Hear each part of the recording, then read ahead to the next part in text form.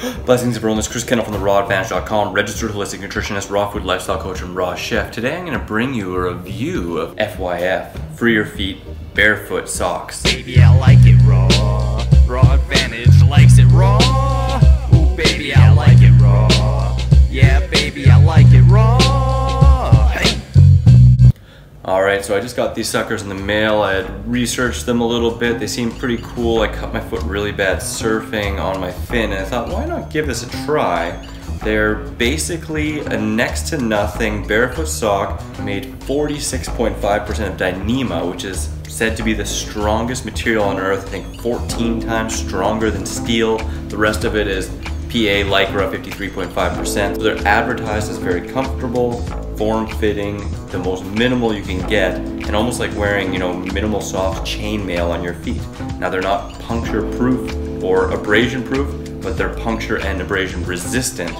So I thought they'd be really neat, especially if I'm surfing on corals, an alternative to booties and stuff like that. It's not that I want to try and touch my feet there, but if they hit, to be a little bit of protection. So I'm gonna unpack them, try them on, and uh, hopefully get some footage of me surfing with them, and I'll let you know after a couple weeks of using them what I think. They feel pretty good.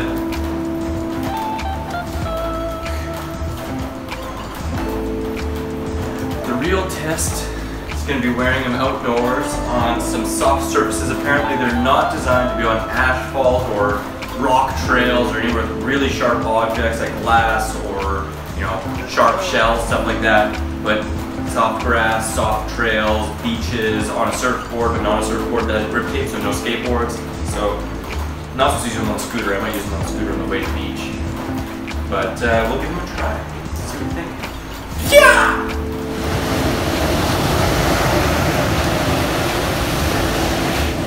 So I'm out here at Old Man's. I'm gonna give the socks a try. Now this isn't really much of a reef break, but it's my last morning in Bali and I really wanted to try these out. So I'm just gonna see how they feel in the water on the board and give you a report.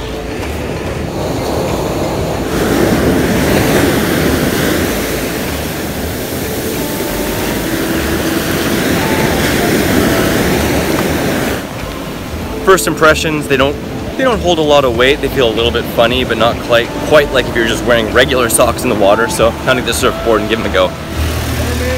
All right, here's my big banana. I sold my surfboard, so I'm renting this medium kind of longboard today. Let's go for it.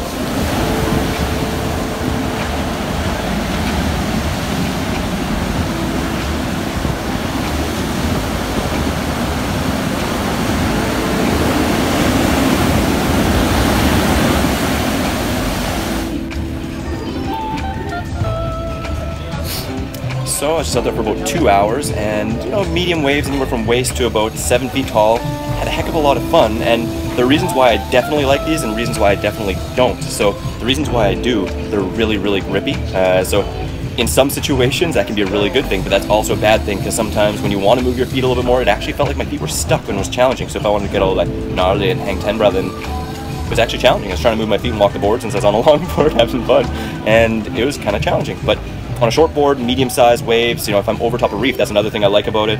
It's not puncture-proof, it's not abrasion-proof, but it definitely would give you an extra skin of protection if you're on top of sharp reef or on top of rocks or they say, you know, they're again, they're not puncture-proof, so if you step on an urchin or on a sharp, sharp shell or glass, you could cut it, but you're gonna save your skin. So for protection, really nice. It actually felt really good when standing on the board. I really liked it. Felt a little bit weird when I was paddling or when I was giving that last kick to get into a wave. Feels a little bit weird on the concrete. Actually feels a teeny bit like chainmail. Overall, certain conditions, I would definitely wear them. Other conditions, I wouldn't. The one big reason that I'm kind of wary of them actually is they almost fell off on one of the bigger waves. I fell in, and all of a sudden, my right foot was halfway off to my toes. They're 100 bucks. It sucked to lose them in the water. And while they do have like the ankle highs, I probably wouldn't wear them surfing myself. You know, maybe I'm just a little bit too fashion conscious. I don't think so. You see me wear my whole scar Trek here. I don't know, maybe I'd go for them, but these ankle ones, they feel a little better, but you're gonna maybe risk them falling off. So, all in all, for me, short board, over reef, medium to a little bit over head high, maybe double head high, would probably be the biggest I'd wear them. Otherwise, serious risk of them falling off, and maybe, you know, not gonna be as easy to be maneuvering and walking around your board, or otherwise just shifting back and forth when you're on a bigger wave. So, that's my honest review. I give them probably, for their weak points, a 5 out of 10. For their stronger points, maybe a 7 out of 10. Maybe better than just regular booties Tell me what you guys think, comment, subscribe, and check out more for know, raw food videos all about the benefits of a raw food diet, different health and fitness tips, and tons of simple raw vegan and low fat raw vegan gourmet recipes. Wishing you much. Peace, love, and seasonal fruit. You know, I do gotta say, I'm really impressed with how fast they dry. Pretty much once I squeezed them out after washing them in clean water, you wanna do that every time, they're almost 100% dry. I'm gonna put them in the sun for probably 10 minutes and they'll be perfect. Ready to pack, they come with their wrong carrying case. Pretty neat. Second update on closer inspection. Quite a few of the dots, the little sticky dots, have already come off just with one use. Not really a good thing because once those are gone, there's a lot less grip. So that's something to realize. Those grip dots do not stay on well at all. Free your feet. Minimalist chainmail for your feet. Awesome. Don't forget to check out my newest video on the top left, the video just for you on the top right. Subscribe to the channel on the bottom right, your two free ebooks in the bottom left.